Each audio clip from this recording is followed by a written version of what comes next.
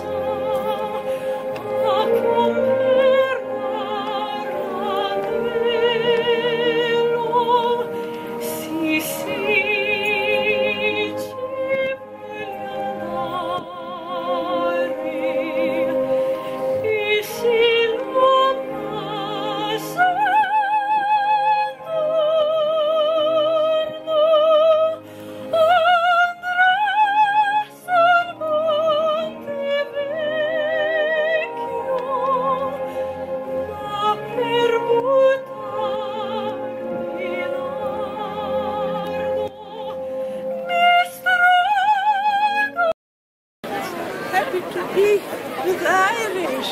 and to, to bring back purpose, the sunshine. Uh, yes, and my father's memory, of course. For my father, Guglielmo Marconi. Very proud. but it has made it more special and more special to have the daughter of Marconi here, his grandson, and Princess Victoria as well. So it's really important you're here with us today, and she's really blown away ever since the award with the reception uh, she's gotten here so far in Ballybunion, and especially from the young people. So I hope you don't mind if I keep this entirely in English. Princess, Princess Electra, Princess Victoria, Prince Marconi, uh, public representatives, county CEO, former Minister Deenihan, ladies and gentlemen, delighted to be here with you today in this beautiful, magnificent setting for what is a, a really, really important milestone, uh, the 100th anniversary of this east-west transmission from Ballybunion here to Nova Scotia, uh, a very, very important landmark. Wonderful welcome. And they've been so much friendly with me that I feel at home here. Thank you, Minister Griffith, for your words. Uh, Jimmy, of course, has been the main ideologist of this event. Well, of course, I, I, I never had the opportunity to, meet my grandfather because he died in 1937, so long before I was born. But living in my grandmother's house, or Marconi's widow's house, I had the great fortune, luck to hear her memories passed on to me until she passed away in 1994 at 94 years of age.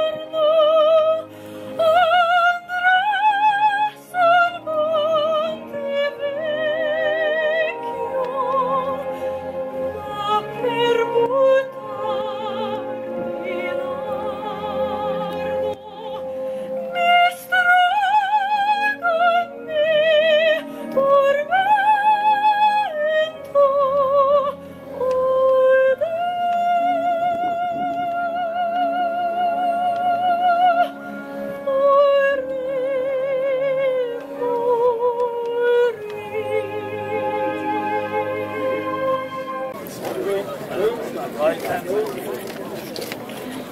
you.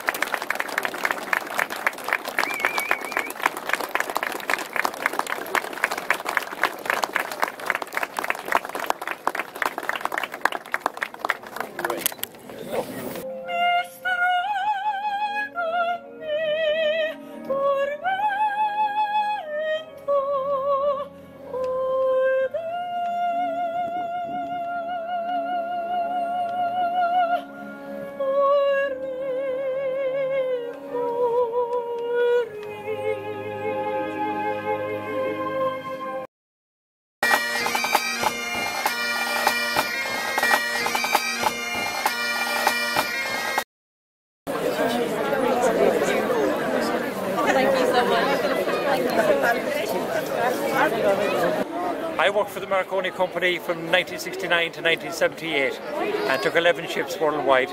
Happy days, happy days, good company. What's your name? Coleman Shock to Sea, Loughrea, County Galway. And uh, I was Vice Chairman of the Radio Officers Association worldwide.